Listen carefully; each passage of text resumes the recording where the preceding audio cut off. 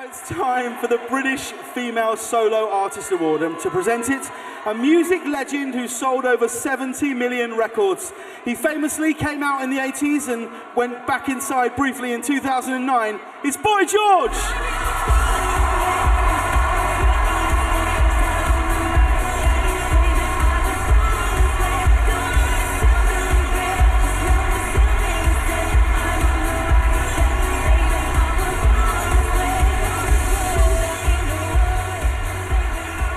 And the nominations for Best British Female Solo Artist are. Wow! Can I just say, I give my heart to a rambling man too. The winner is Laura Marling. Laura's first Brit nomination and win after the release of her second album, I Speak Because I in March. She's frequently been supported by Mumford Sons. In fact, Marcus on the street after being denied entry to one of her own gigs for being underage.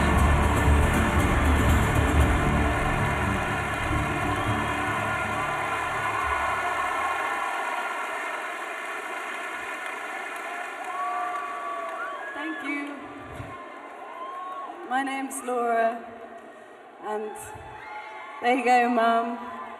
That's for you. And uh, thank you very much to Adam and Laura and everyone at Virgin. And this is really weird.